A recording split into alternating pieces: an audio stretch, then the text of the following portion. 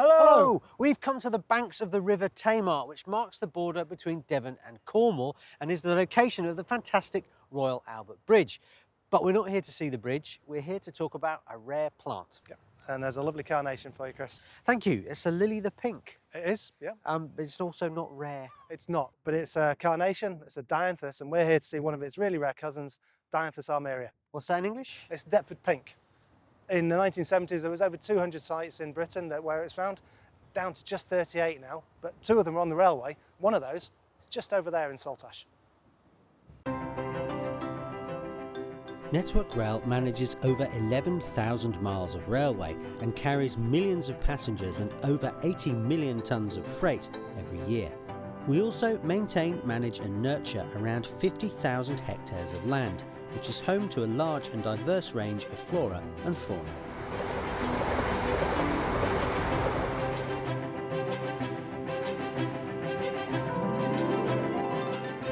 So Bex, what is it about this slightly unprepossessing patch of land that the Deptford pink loves? Um, it loves the bare earth. That's, that's what helps the seed germinate, lots of high light levels. Um, it likes poor soil, quite exposed, sunny site and free draining soil. And how would I know I've got a Deptford pink? What would I look for in this plant? It's this bright pink really that catches your eye. It's such a gorgeous colour and it's got five petals and if you look closely it's got little white dots on those petals. And it starts off life as a, a rosette, a basal rosette and some years it will flower in the same year and be an annual and other years we'll come back to the same basal rosette next year and it will um, be in flower. It tends to kind of flower in clusters with just one flower out at a time and then it produces lots and lots of seeds which can fall in the, the bare earth just here.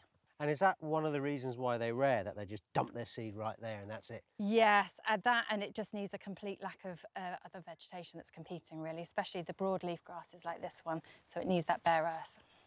So Neil's joining us. And Neil, what have you found? Just a whole load of other Deptford pinks just over there. It's just to show exactly what Bex was just saying. This access point has that disturbance that keeps away the brambles and the clematis and just gives us that area where they can drop their seeds. And now we know they're here, what are we doing to look after them?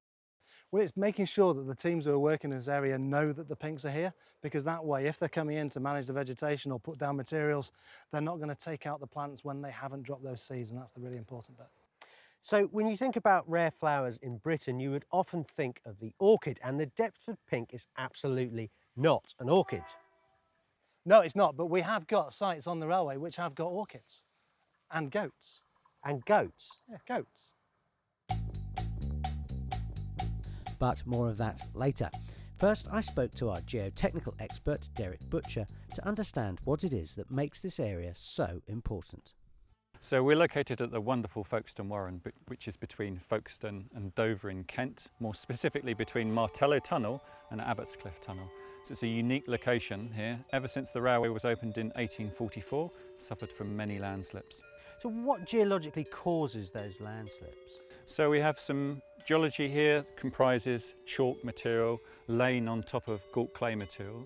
Uh, what happens then is that the rain falls down onto the chalk, onto to the top of the cliffs, percolates its way down and then ends up sitting on top of the clay material.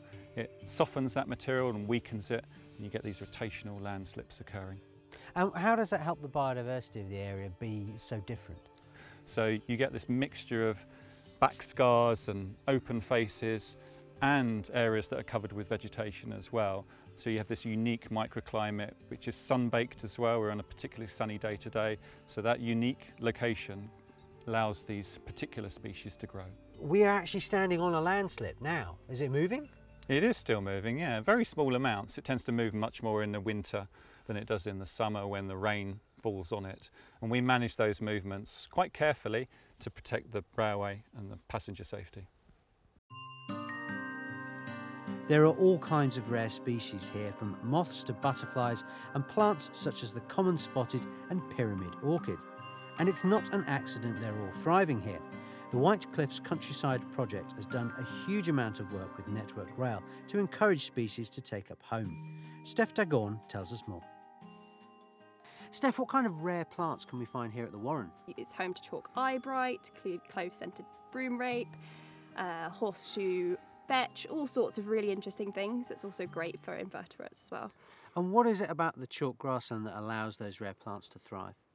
Uh, so the chalk grassland is bare chalk, effectively. So where the chalk slumps down from the cliff, plants grow on it. Uh, the reason the plants, the rare plants, grow on there really well is because there's a low level of nutrients in that area. Um, so there's not all the kind of nitrates and things in there, which means that things like bramble, nettles, thistles won't swamp them. And how do you maintain this site? I mean, it's a really strange kind of shape. It's long and thin and very steep as well. It must be a real challenge. It is a challenge. Uh, the rangers absolutely love a challenge. They spend a lot of their time walking, and do many miles a day, but we do also have conservation grazing that helps us manage the open areas. Um, so that includes cows and goats, and those go along and browse and graze the, the grassland areas and the scrub areas, making the scrub denser and allowing the grassland to um, keep its uh, lower height and reducing the nutrients. And what advantages do animals have over humans with brush cutters?